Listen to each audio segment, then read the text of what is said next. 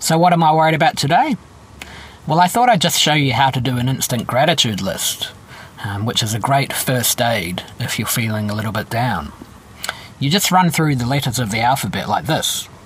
So, A, A is for Australia, where I'm lucky enough to live a peaceful and prosperous life.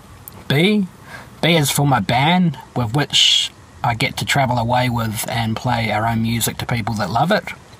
C, C is for Caroline, my beautiful wife, who is looking after our two boys and getting no sleep while I'm away on tour playing these shows. D, D is for drinking, that I don't do anymore, which is great.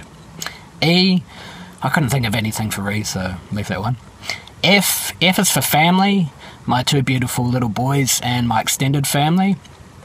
And G, G is for the guitar lessons that my mum took me to when I was 11.